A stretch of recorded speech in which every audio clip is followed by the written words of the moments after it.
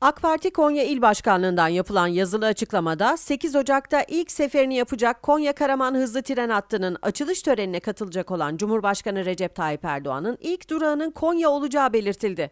Erdoğan'ın buradan hızlı trenle saat 13.15'te Karaman'a hareket edeceği ifade edilen açıklamada, hızlı tren projesinin hayata geçmesiyle birlikte Konya-Karaman arasının 1 saat 15 dakikadan 35 dakikaya düşeceği ve Marmara, İç Anadolu'yla Akdeniz bölgeleri arasında hızlı tren bağlantısının kurulmuş olacağı bildirildi. Açıklamada 102 kilometrelik Konya-Karaman hızlı tren hattı güzergahında 21 araç alt geçidi, 20 araç üst geçidi ve 15 yaya alt geçidi bulunduğu vurgulandı. Açıklamada ifadelerine yer verilen İl Başkanı Hasan Angı, Cumhurbaşkanı Recep Tayyip Erdoğan'ın Konya'daki Selçuklu Tren Garı'ndan Karaman'a yola çıktığını belirtti. Erdoğan'ı karşılamak için 8 Ocak Cumartesi günü saat 13'te Konyalıları Selçuklu Tren Garı'na davet eden Angı şunları kaydetti. Sayın Cumhurbaşkanımızla buradan hızlı trenle Karaman'a gideceğiz ve binlerce vatandaşımızın katılımıyla hattımızın açılışını yapacağız. Bu vesileyle Konya-Karaman hızlı tren hattının hayata geçirilmesinde büyük emekleri olan Sayın Cumhurbaşkanımız Recep Tayyip Erdoğan'a şükranlarımı arz ediyorum.